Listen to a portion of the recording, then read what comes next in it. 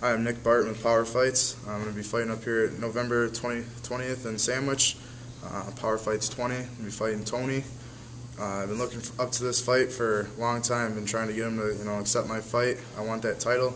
That's our title. You know, I'm Power Fights fighter. That's Power Fights title. Tony, that belt is mine. I'll do everything I can to get that belt. You're going down, and I'm walking out with my hand up.